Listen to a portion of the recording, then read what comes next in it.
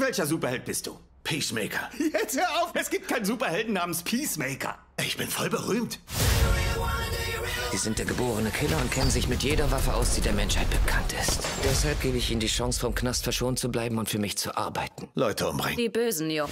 Das ist Harcourt. Sie wird für Sie verantwortlich sein. John Economist, unser Techniker und Taktiker. Das ist unsere neue Rekrutin, Adebayo. Du musst nicht auf sie schießen, nachdem ich sie gekillt habe. Richtig. Wer ist der Kerl, der sich hinter dem Müllcontainer versteckt? Vigilante, der versucht nur zu helfen. In letzter Zeit komme ich mir wie ein verdammter Irrer vor. Hey, nicht! Weil wir die geborenen Killer sind. Was uns von anderen Killern unterscheidet, ist, dass wir nur böse Menschen umbringen. Normalerweise. Es sei denn, wir machen einen Fehler. Die Welt braucht einen richtigen Draufgänger. Und Sie sind der einzige, den ich habe. Peacemaker. Jetzt exklusiv auf RTL Plus.